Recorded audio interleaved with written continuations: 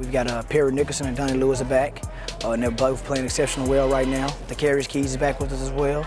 Uh, he's doing a great job. He's got a lot of length and athleticism. Now two freshmen, Jaylon Monroe and Willie Langham, have really been a, a pleasant surprise.